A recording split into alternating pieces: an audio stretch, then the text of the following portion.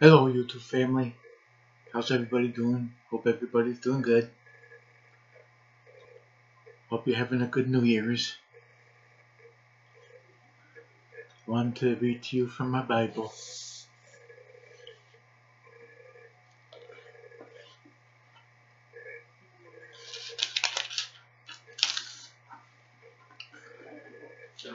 Just gonna just gonna randomly randomly read read from my Bible here. When Jesus says, Come to me, he doesn't say come to religion, come to a system, or come to a certain doctrine. This is a very personal invitation to a God, an invitation to a Savior. In essence, Christianity is, is nothing more, nothing less than a desire and an effort to see Jesus. That's all it is. We're trying to catch a glimpse of a man, not a program, not a plan, not a system, not a doctrine. We're trying to see a man who called himself the Son of God our God is not aloof. He is not so far above us that he can't see and understand our problems. Jesus isn't a God who stayed on the mountaintop. He's a Savior who came down and lived and worked with a with the people. Everywhere he went, the crowds followed, drawn together by the magnet that was and is the Savior. The life of Jesus Christ is a message of hope, a message of mercy, a message of life in a dark world.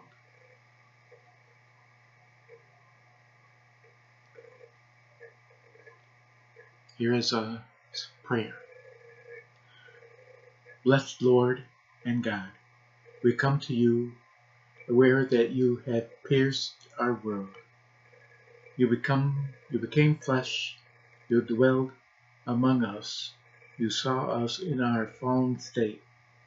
You reached in and pulled us out.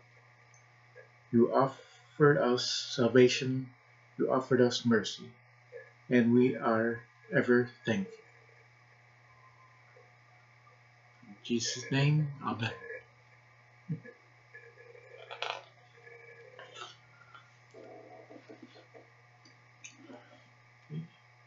Here's another reading on suffering. Folks, if you're expecting to be given a fair shake in your life, forget it. You won't be.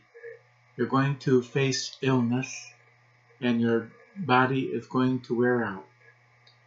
You may be the victim of someone else's mistake, but you can get through those tough times if you prepare your heart now, living to know and serve the Savior who loves you and died so that you might have an eternal home free of pain and sorrow.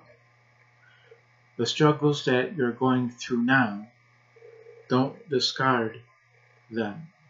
Listen to God as He teaches you so that you can teach others.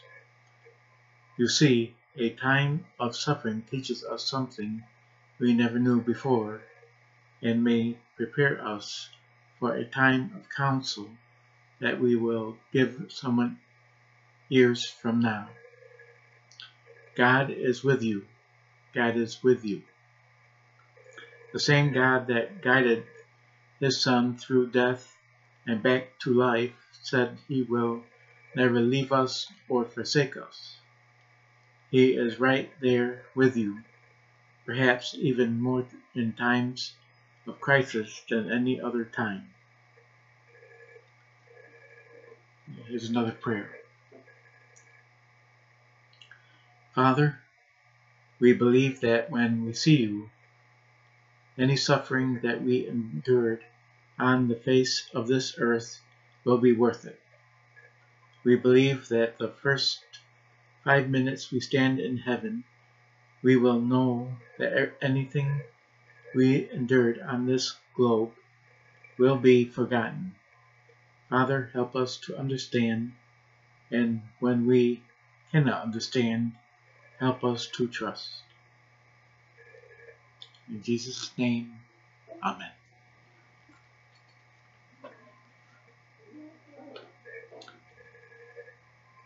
Another reading on hospitality. Here's a suggestion. We should all wear antennas to work, to church, to school. Antennas that pick up on people who seem out of place, whose loneliness shows. Why not be the one to approach these folks and extend friendship to them? Maybe you think the last thing you need is another friend, but friendless hospitality is a virtue that brings as much joy to the giver as to the receiver. When you extend hospitality to others, you're not trying to impress people. You're trying to reflect God to them. You don't have to be rich to be respond to be hospitable. A wise friend once told me, if you won't give people hot dogs when you're poor, you won't give them steaks when you're rich. We should let our pride get in we shouldn't let our pride get in the way of being hospitable. We are here on earth to be God's people. We are here to show others the same God who came to be a friend to the earth.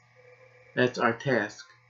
Maybe today you will meet someone who really needs a friend and you can fill that need. Maybe you can make an eternal difference in that person's life just because you chose to be friendly today.